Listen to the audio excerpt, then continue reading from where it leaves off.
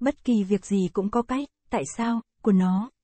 Không, câu mở đầu như thế chưa được. Phải bắt đầu bằng một câu gì nghe triết lý hơn kia.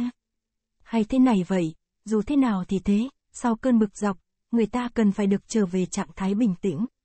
Thực ra thì câu này nghe cũng chưa ổn. Có lẽ những lời nói vĩ đại chỉ có ở miệng các bậc vĩ nhân mà thôi. Chính vì thế mà lúc nào tôi cũng thấy thương cho cái thân phận mình. Chuyện nào tôi cũng bắt đầu bằng một câu đáng được lưu truyền thiên cổ. Thế mà tuyệt đối không một ai thèm coi cả tôi lẫn những lời nói của tôi ra cái gì cả. Mà bạn tưởng các bậc vĩ nhân phát ra được những câu gì đặc biệt lắm sao? Có một bậc vĩ nhân bảo, mùa hè nóng. Thế là mọi người rôi rít ca tụng, trời ơi, chi lý biết chừng nào, sâu sắc biết chừng nào. Cái chân lý vĩ đại mà nhân loại phải tìm kiếm hàng trăm năm nay, đã được Ngài nói ra trong ba chữ. Một vĩ nhân khác trước lúc tắt thở thốt lên, mở cửa ra. Người ta lại đưa nhau bình phẩm, cha, cả một ý tưởng vĩ đại chứa đựng trong câu nói thiên tài. Chỉ bằng mấy chữ, nhà tiên tri đã vạch đường cho hậu thế. Mở cửa ra, câu đó nghĩa là gì? Muốn hiểu hết ý nghĩa thâm thúy của mấy chữ này cứ gọi là phải viết hàng núi sách. Vì thâm ý vĩ nhân muốn nói rằng, mà đã là bậc vĩ nhân thì người muốn nói gì? Này hỡi nhân loại, đừng có ru rú trong cái xó chuồng tăm tối như bầy lửa ấy nữa. Hãy mở cửa ra cho ánh sáng kiến thức dọi chiếu vào. Hoặc giả người ta muốn nói, hãy mở cửa ra mà nhìn thế giới. Cho ánh sáng kiến thức soi dọi vào cái đầu óc ngu dốt của các người. Thế nhưng cũng như tất cả mọi người bình thường khác, trong lúc hấp hối thấy khó thở, nên bậc vĩ nhân yêu cầu, mở cửa ra, cho dễ thở hơn chút. Có thế thôi, sau này chết đi, sang bên kia thế giới, việc trước tiên là tôi phải tìm ngay gớt và hỏi ông, người ta bảo trước lúc vĩnh biệt cõi trần, ngài có nói, vén rèm lên cho sáng thêm một chút. Vậy ngài nói câu ấy là có ý sâu xa gì không? Tôi chắc thế nào gớt cũng mỉm cười mà bảo, thật tôi có nói, cho sáng thêm một chút, à. Chắc vì lúc đó tôi thấy mắt tự nhiên tối sầm lại, nên bảo vén rèm lên để nhìn rõ mọi người xung quanh.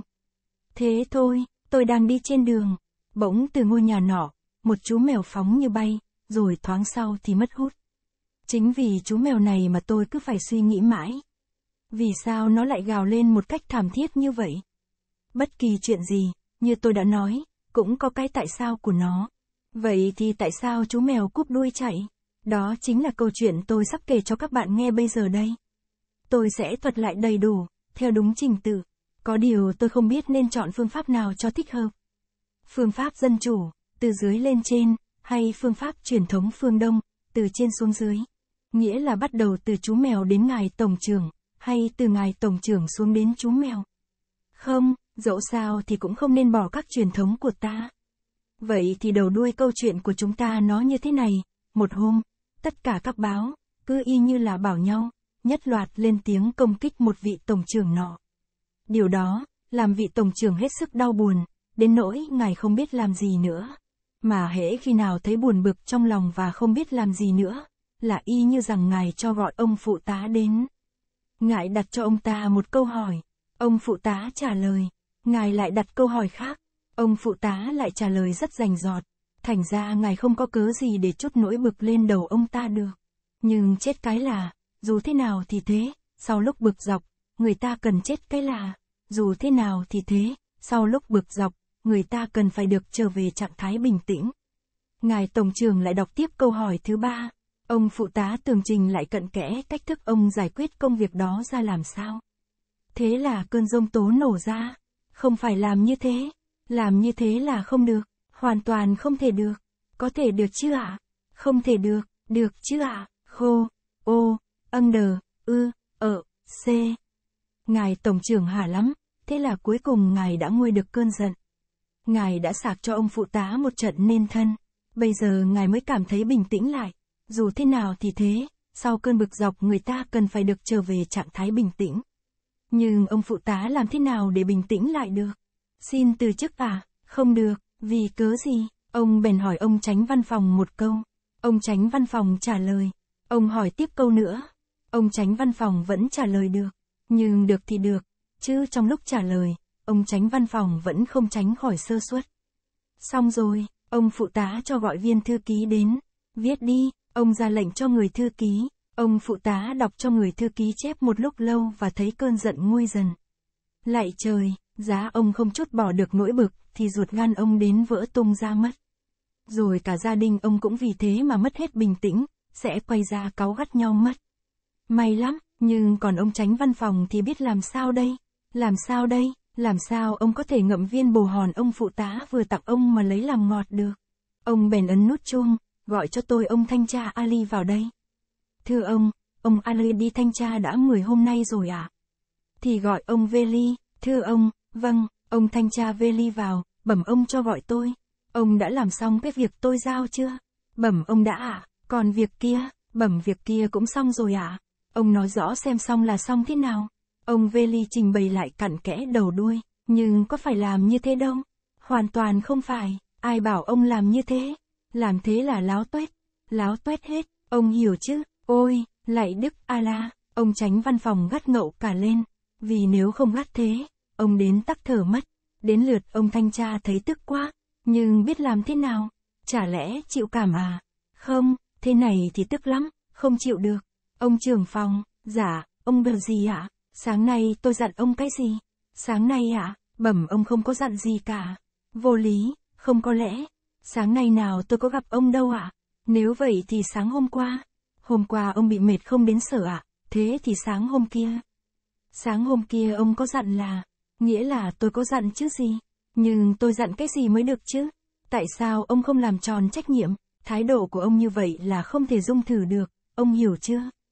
Không thể được, tôi cấm đấy, cương quyết cấm, mặt ông trưởng phòng giải thưỡn ra. Nhưng dù thế nào thì thế, sau lúc bực dọc, người ta cần phải được trở về trạng thái bình tĩnh. Gọi ông phó phòng vào đây. Ông phó phòng vào, ông trưởng phòng hỏi, biểu, đờ, ông làm xong chưa? Thưa ông đã, xong toàn bộ chứ, xong toàn bộ ạ, à? thế các tờ phiếu đã ghim lại với nhau chưa? Ghim rồi ạ, à? làm gì mà cứ phải đúng giam sắp thế nhỉ? Thế gửi đi chưa? Thưa đã à? cứ làm như không thể chậm lại được ấy. Gửi bao giờ? Hôm qua à? Sao? Hôm qua à? Sao lại chỉnh mảng đến thế được nhỉ? Cái kiểu đâu lại đổ đốn như vậy? Phải làm việc chứ, làm việc, làm việc hàng ngày, tôi yêu cầu ông, ông rõ chưa? Chào ôi, khi chút được cơn bực, người ta cảm thấy nhẹ nhõm làm sao? Ông phó phòng bước vào phòng ông trường bộ phận, ông thở một cách nặng nhọc. Cái gì thế này, chứng từ để chuyển sang phòng kế toán đấy ạ? À? Ra thế đấy, thế là rõ rồi, đến giờ mà vẫn còn ngổn ngang bừa bãi thế này. Lại còn cả đống này nữa này. Ông phó phòng vừa bước ra, ông trưởng bộ phận tức giận đấm bốp một cái xuống bàn. Hassan đâu? Hassan nào ạ? À? Hassan bộ phận 2 hay Hassan kế toán ạ? À? Lại còn Hassan làm ở phòng đăng lục nữa à? Hay ông muốn gọi ông Hassan lục sự? Lôi cổ đến đây bất cứ thằng Hassan nào cũng được. Nghĩa là cứ gọi cho tôi tay Hassan lục sự ấy. Thưa ông đã có chuông nghỉ, ông ấy đi ăn cơm rồi à? Nếu vậy, anh tên là gì? Huy Sen, Huy Sen hay Mui Sen cũng vậy thôi. Tôi bảo cho các anh biết, tất cả lũ các anh. Ông trưởng ban nổi trận lôi đình khoảng 10. Cuối cùng ông thấy nguôi giận, rời khỏi sở. Còn Huy Sen thì quay sang hạch sách ông Văn Thư. Cửa kính sao lại bẩn thế này? Trần nhà gì mà đầy mạng nhện thế kia? Bàn nào cũng đầy bụi. Sàn nhà thì chẳng chịu lau chùi gì cả. Không thể chịu được, không chịu được, hiểu chưa? Hả, ra khỏi sở, Huy Sen cũng thấy nhẹ nhõm hẳn. Cái nhẹ nhõm hẳn, cái nhẹ nhõm của người chút bỏ được cái ác bông nặng trĩu khi vụ rét vừa hết. Ông Văn Thư định chút giận lên đầu người gác cửa, nhưng ông này lại về nhà mất rồi. Làm sao bây giờ, dù thế nào thì thế, sau cơn bực dọc, người ta cần phải được trở về trạng thái bình tĩnh. Ông Văn Thư bước lên xe điện, cái nhà anh này, dẫm cả vào chân người ta. Ông bắt đầu sinh sự với ông khách đứng bên cạnh chân cẳng cứ xéo bừa đi, chẳng nhìn gì hết. Ông khách im không nói, người soát vé tiến đến, ông lấy vé đi, anh không thấy tôi đang bị ép thế này à? Cả hai tay đều không nhúc nhích nổi thì làm sao mà rút được ví. Lúc nào xuống tôi sẽ mua. Không được, sao lại không được, đã bảo không được là không được, ngộ nhỡ nhân viên kiểm tra đến thì làm sao? Thế là thành to tiếng. Rốt cuộc, ông Văn Thư cũng tìm được người để chút giận. Hết chuyến cuối cúng, người soát vé trở về nhà. Chị vợ tuét miệng cười khi thấy anh về. Làm cái gì mà nghe răng như cái con khỉ thế? Anh soát vé bỗng thấy điên tiết cái thằng bố mày đây đứa nào cũng bắt nạt được. Mà mày còn. Chửi mắng vợ một trận nên thân xong. anh ngồi vào bàn điềm nhiên sới cơm ăn. Chị vợ thì bắt đầu thốt tha thốt thít. Trong lúc đó, chú mèo cứ quẩn dưới chân. Cáo tiết, chị đá cho nó hai cái vào lưng. Thế là chú mèo ngheo lên một tiếng thảm thiết rồi nhảy bổ ra đường. Chị vợ anh xoát vé nép sát vào người chồng. Tình yêu đàm thắm nhất thường đến sau nước mắt. Cả đôi đều đã bình tâm lại, bấy kỳ việc gì cũng có tại sao của nó. Ví các báo đừng công kích ngài tổng trưởng, thì việc gì chú mèo tội nghiệp nhảy bổ ra đường. Con người dù sao cũng khôn ngoan, biết cách trở về trạng thái bình tĩnh. Nhưng còn chú mèo, chú nhảy bổ đi mất như hóa giải. Liệu rồi chú có lấy lại được bình tĩnh hay không? Điều ấy đến bây giờ tôi vẫn chưa dám chắc. Chân thành cảm ơn độc giả thân mến đã dành thời gian quý báu để lắng nghe câu chuyện ngắn của chúng tôi trên kênh YouTube. Sự ủng hộ và sự quan tâm của các bạn là nguồn động viên lớn, là động lực mạnh mẽ để chúng tôi tiếp tục sáng tạo và mang đến những trải nghiệm tuyệt vời nhất cho các bạn. Chúng tôi rất vui mừng khi biết rằng câu chuyện đã chạm đến trái tim của các bạn và tạo nên những cảm xúc đặc biệt.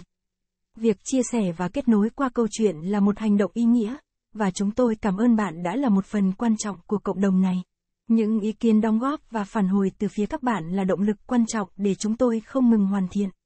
Hãy tiếp tục ủng hộ chúng tôi bằng cách đăng ký kênh, chia sẻ và để lại những bình luận ý kiến của bạn.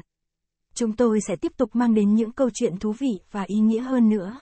Một lần nữa, xin chân thành cảm ơn độc giả đã luôn đồng hành và ủng hộ chúng tôi. Hy vọng rằng chúng tôi sẽ tiếp tục gặp lại các bạn trong những câu chuyện sắp tới. Cảm ơn và chúc các bạn một ngày tuyệt vời.